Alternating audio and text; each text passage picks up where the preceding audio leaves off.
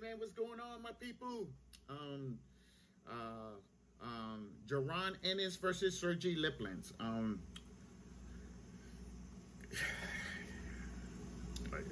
what can I say about that fight, man? Like I'm saying, uh, uh, Lipinets to me looked like an amateur.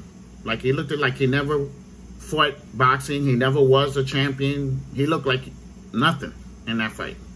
I'm saying, you know, I'm sorry for y'all Lipinets follower, but he fought terrible in that fight. Like I'm saying, you know, like I was like, you know what I'm saying? You know, I told y'all, I told y'all, Ennis, Ennis, he could crack inside, he could crack outside too. Could crack in and out. You know what I'm saying? You know, that's what makes him so dangerous. And then he's a switch hitter too. It's a switch hitter. Give you fucking problems all day in that fight. You know I'm saying Crafty's a crafty fighter. I call him I call him a crafty fighter. Like you know what I'm saying? So you know, you, you put basic fighters in front of him, he's gonna beat them up. He's gonna beat all of them up. To tell you the truth. You know I'm saying?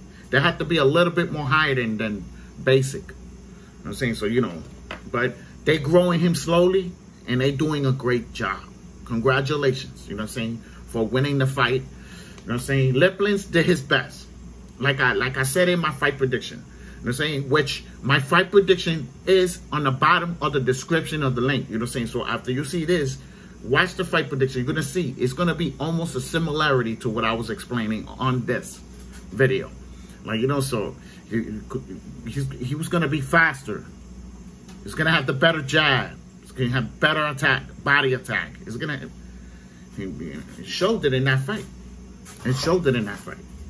I'm saying? So, you know, I don't want to do any more than what the what it's supposed to be, you know, the after fight review. You know what I'm saying? So, um, so if you like the video, put a thumbs up. If you dislike the video, put a thumbs down. Now remember, on the bottom of the description link is the fight prediction for this um for this fight.